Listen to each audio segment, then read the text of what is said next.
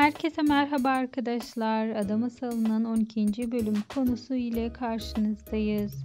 Her yıl düzenlenen hayır kermesi bu sene ada halkı için daha da heyecanlı bir hal alacaktır. Zira kermesin yapılacağı günden bir gün önce büyük bir haberle çalkalanır ortalık. Haziran ve Poyraz sevgili olmuştur.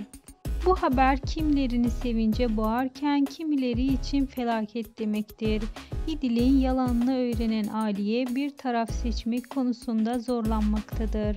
Haziran'ı asla torununun yanında kabul edememekte ancak İdil'in söylediği büyük yalanı da içine sindirememektedir.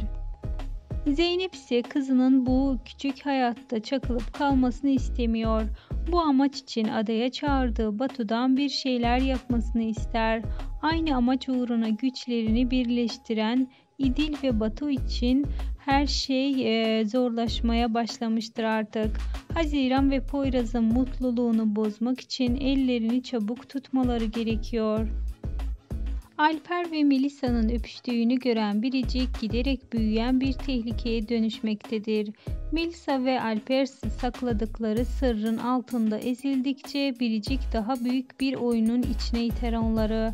Haziran ve Poyraz'ı ayırmak için Poyraz'ın geçmişini kurcalayan Batu nihayet bir sonuca ulaşır.